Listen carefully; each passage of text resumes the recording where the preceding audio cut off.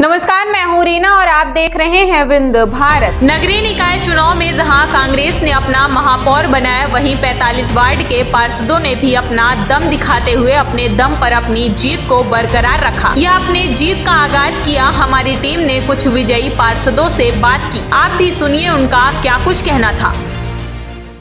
नमस्कार, आप देख रहे हैं बिंद भारत। मैं जावेद अंसारी, राजेश विश्वकर्मा के साथ। वार्ड एक, निपनिया। सी एल रावत साहब हमारे साथ मौजूद हैं। इनकी वाइफ यहाँ से निर्दलीय प्रत्याशी थी। इन्होंने भारतीय जनता पार्टी से टिकट मांगा था। टिकट ना मिलने पर इन्होंने निर्दलीय चुनाव लड़ा था। कितने वोट से आपकी जीत हुई है? तीन सौ उनचास वोट। तीन सौ उनचास वोट से इसके पहले भी आप भारतीय जनता पार्टी से क्या आपने टिकट मांगा था? इसके पहले भी आप पार्षद हुआ करते थे? जी जी जी।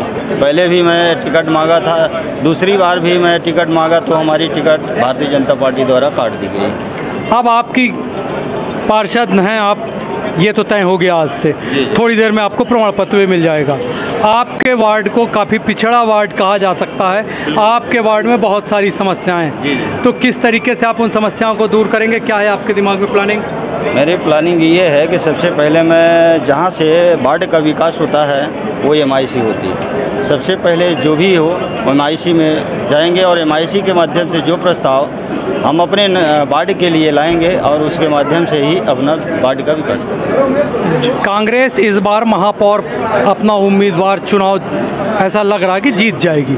तो क्या आपको ऐसा लगता है कि आप कांग्रेस के साथ भी जा सकते हैं? नहीं एम जिसकी बनेगी मैं उसके साथ जाऊँगा। एम के साथ आप जाएँगे आप अपने क्षेत्र में विकास करेंगे। जी, जी, जी। पहला काम क्या करने जा रहे हैं अपने क्षेत्र के लिए? पहले पहले तो मैं अपने स्वास्थ्य का फिर अपने स्वास्थ्य के साथ साथ अपने जो छोटे छोटे कार्य हैं जैसे नालियाँ हैं पानी का निस्तार है जो उसके मैं काम करूँगा और उसके साथ साथ अपने वार्ड में अपने जो खाद्यान्न जो योजनाएँ हैं शासन की मैं उन छोटी छोटी योजनाओं को अपना लाभ वार्डवासियों को देंगे। नाली की समस्या पानी की समस्या हमारे इलाके में बहुत ज़्यादा है।